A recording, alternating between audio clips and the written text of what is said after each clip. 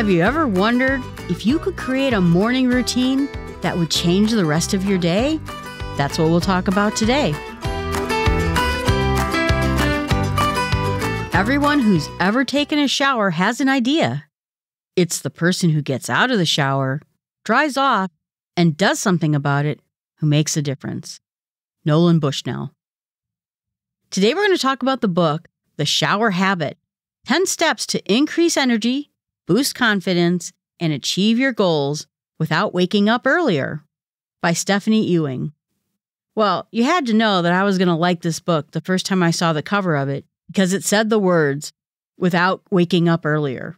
I like anyone who tells me I don't have to wake up earlier. So right away, the book had my attention. She said these ideas helped her get over some very serious points in her life. It helped her start their day with confidence. She says it'll boost our productivity, reduce our stress, and increase happiness. Who doesn't want all those things? I am a big fan of having a morning routine, more so than I think even having a nighttime routine, primarily because I'm such a mess in the morning. My brain is not there. I'm not a morning person. It takes a while to get all the cobwebs out of my brain after I wake up. So having a morning routine helps me a lot just getting my day started correctly. She understands that when we try to get things done, we have a lot of things going on in our lives. And the idea that we have to add a lot of things onto our plate, it's just not going to fly. And how can we take time that is already a part of our day and bring it in to help us actually go towards our goals, start our day off right? And I think even with the morning routine itself, when you have something that you can be successful with, it'll encourage you your whole day. If you're able to tackle the very first thing in the day, get it done, you feel good. And that sets up the structure for the whole day too. She said that this shower habit will help us get motivated, will give us energy levels, and it'll help us finish all the things that we want to finish. We're not lazy, we're not procrastinators. Sometimes we need some stuff to get energized in the morning. And so she wants this whole process to be positive. She has an initial quiz that helps us to understand if we have what it takes to do her shower habit, which includes do you have a shower? And so she'll say, if you've passed this test, which is a very easy test to pass, now you're ready to take on her challenge. If you're struggling, she says, to get out of bed, then try to think about what's the very first thing that you would love to do every morning. I used to love to scratch my cat's ears. They'd always sit right by me, waiting for me to wake up. She said, then we're going to keep a journal next to our bed and write down all our intentions for the day and what rewards we're going to get for getting those things done. Cool. Now we got that down. But those two parts are going to help us get out of bed so we can take that shower. Says that we should clean our shower, clean up the mirror, make it nice in there so that we can start our day off in a pleasant place. Now that our bathroom looks good, it's usable, we're ready then to go after our tasks. She also says we need a group of people, family and friends, who can help us meet our goals together. Have some friends and family with you, not in the shower. And just being with those people, she says, not in the shower, will help us for our accountability. It's always the people who care about us that will help us keep accountable to the things we're trying to do. And she wants us to think do we want to have more energy in the morning? Maybe we could exercise. Maybe we could get things done. I know I'd love to have more energy in the morning. I'm pretty tired. The first aspect is if we need more energy in the morning because we have a whole list of things that we need to get done during the day. This is where we're going to have this shower habit help us so that we can help our family, help other people. She said that everyone needs to take care and fill their own buckets so that we can live a great life, but help other people too. If our buckets aren't filled, we're going to be terrible for other people. So here's step number one every day, get into the shower. Okay, pretty good. That's a pretty good step. It's easy to do, it's easy to get done, and we're going to feel great that we actually accomplished our very first task of the day. She wants us to write down our daily tasks, this method, on our mirror She says, You may not know this, but the mirror is a fantastic write on wipe off board. And if every morning we check things off the list, we'll feel even better about it. She said, Then the next step is that we're going to end our shower with a cold blast of water.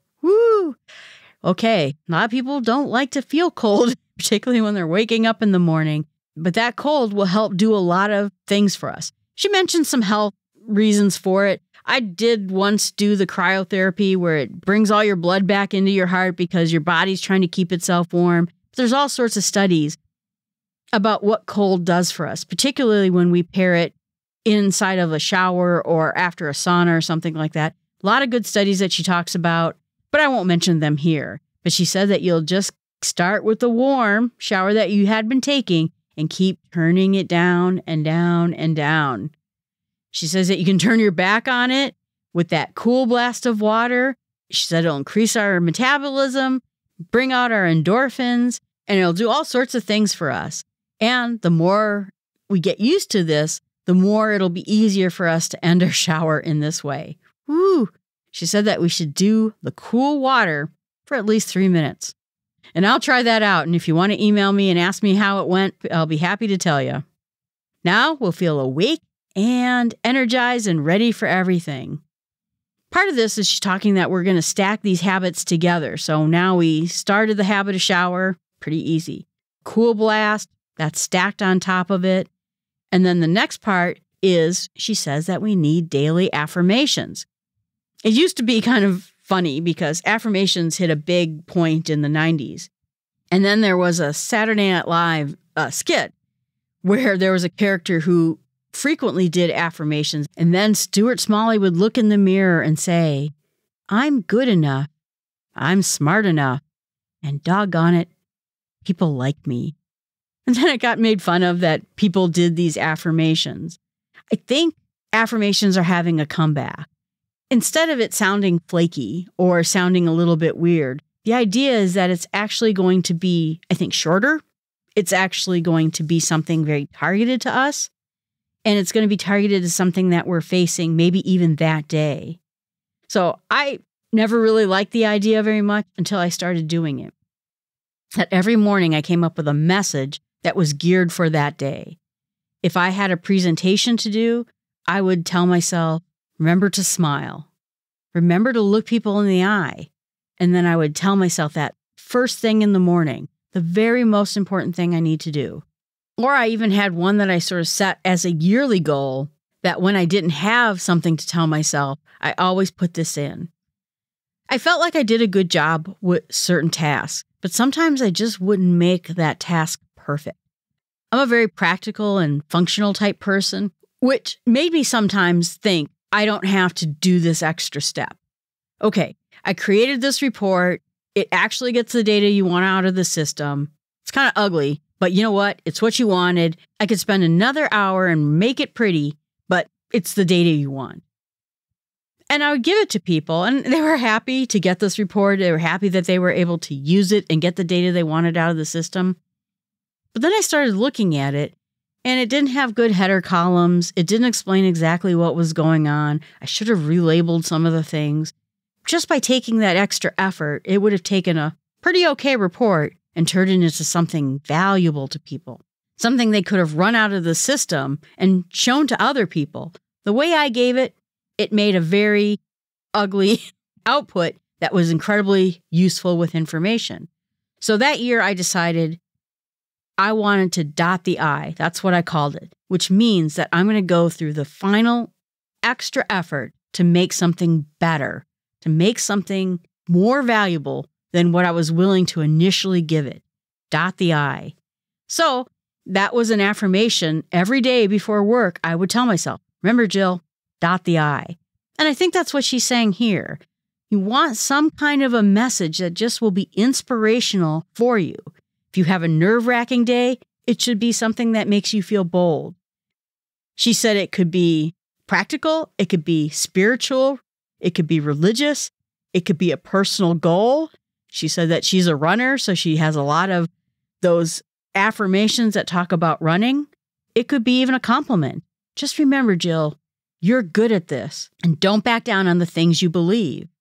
I tend to be an easygoing person, and I realized that once I became a consultant, people were paying money for me to be honest. And I tried to say the nice thing, and I realized that's not what people paying me for. So suddenly I had a new affirmation, which was be honest, tell the truth. It's not that I was lying to people, it's just that I tended to put it in the most positive way possible. And sometimes that's not trustworthy because maybe the thing you're saying is not positive. I was listening to a debate between two possible options. And the normal Jill is very much like, yeah, you could do it A or B. Either way works. But I started realizing that I had to be honest, and method A does not work. Be bold, be honest. Method B is the only way that matters. So the affirmations can be something that is setting you up for the thing that you really need to do. So now we're going to take our shower. We're going to state our affirmations, could be more than one. And then we're going to finish with the cool blast of water, she says. Whew. We're also going to write them on the mirror and we're going to check them down. Now we're working our way through this morning routine. The next step is deep breathing. She wants us while we're in the shower to do what is called box breathing, which is where you breathe in for four, hold it for four, breathe out for four, hold the breath out for four, breathe back in. The idea is that the breath will help us focus better. It'll clear our mind of all the cobwebs we got going on, and it'll help us cool down, be more reflective, and get kind of any stress we might have in us. Okay, so now we're going to do that. We are going to get in the shower. We're going to say our affirmations. We're going to do our box breathing, and then we're going to hit with the cool blast. The rest of the book goes on and it gets outside of this shower habit and talks about doing anything from yoga to cardio exercises, maybe getting a massage, brushing your teeth, getting lotion on. You're basically creating this perfect scenario for your day. She talks about the importance of being able to visualize our goals with a vision board. And we talked a little bit about that in episode 48 Cook the dreams of your life in the kitchen of the mind. Meaning that we're going to make things that we want visible. And once we have this vision board, then we'll be able to visualize our goals. So, in the sense that this book gives you a framework for starting off your day correctly, having immediate success, checking things off of a list, and giving ourselves an affirmation that will set our day up correctly, I think that's a great idea. And I think that's something that you can take with as a very simple morning routine so that you can make your life a little bit more energetic and more successful. Hopefully, this helps you. So, my challenge to you is I would like you to write down a few affirmations that are particularly relevant to you right now. Then, take your shower and make sure that you say those items that you indicated. Thank you very much, everyone. I appreciate you being out there. Please remember that you can email me at jill at smallstepspod.com. You can also look at my Twitter feed, which is on my website, smallstepspod.com. The Twitter link is there. But every day, I'm trying to find and curate information that will make your day better, whether it's positive information, but usually it's actual practical information that will help you get through something right now. Maybe I'm not doing a review of that particular book or that tweet in a podcast yet, but it's something that will be a quick hit to make your day better. And just remember, you can create a morning routine that has small steps.